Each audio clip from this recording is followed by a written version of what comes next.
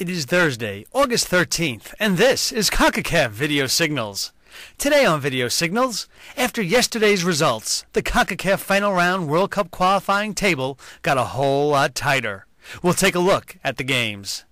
Join me on a trip around the Confederation, and then we end the show with the CONCACAF quiz. We start with World Cup qualifying at the Azteca as Mexico made it two straight wins over the USA in two and a half weeks, defeating its rival 2 1, an 82nd minute goal by Miguel Sabah, who was the top scorer at the recently completed Gold Cup, lifted El Tri to the victory. Sabah finished an attack from Efrain Juarez down the right side.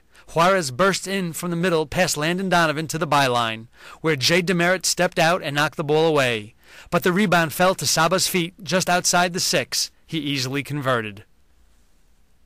Charlie Davies had put the visitors ahead in the ninth minute, beautifully finishing from the left after running onto a Donovan pass. It was his second qualifying goal.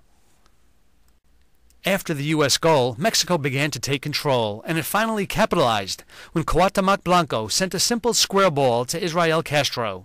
Castro took one touch and launched a long-range strike that eluded U.S. goalkeeper Tim Howard. The victory means that Mexico remains in fourth place, but now only one point behind the Stars and Stripes. In Port of Spain, Cornell Glenn scored in the seventh minute as host Trinidad and Tobago prevailed over El Salvador 1-0. Glenn capitalized after a poorly taken free kick opportunity by El Salvador's Osael Romero bounded away. Glenn raced down the left before finally beating Salvadoran keeper Miguel Montes. The result left both teams with five points at the bottom of the hexagonal standings with four games remaining. Two goals from Carlos Costly helped host Honduras to a 4-0 victory over top of the table Costa Rica in San Pedro Sula. The Catrachos went ahead in the 30th minute when Costly scored off a pass from Elvis Tercios.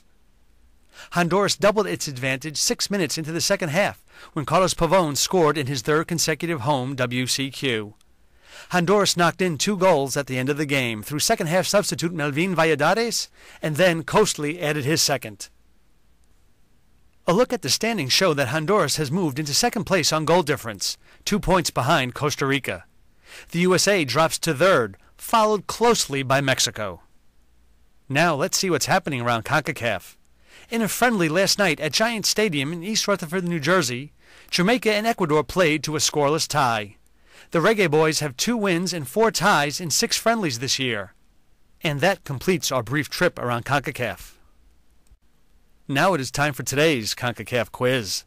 Yesterday, we asked if you can name the player who scored both goals for Costa Rica in its 2-1 World Cup qualifying win over Honduras on February 11th of this year.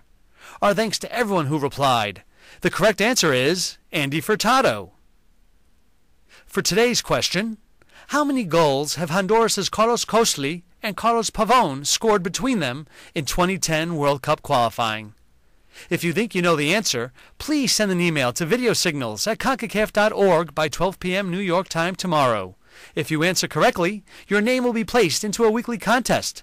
The winner will receive a prize from CONCACAF. Well, that's all for today. Thanks for joining us at Video Signals, your source for CONCACAF News.